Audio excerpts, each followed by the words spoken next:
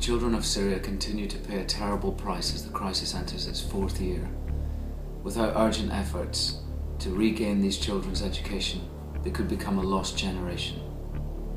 That's why I've joined UNICEF and signed the No Lost Generation call to action. Please do the same now.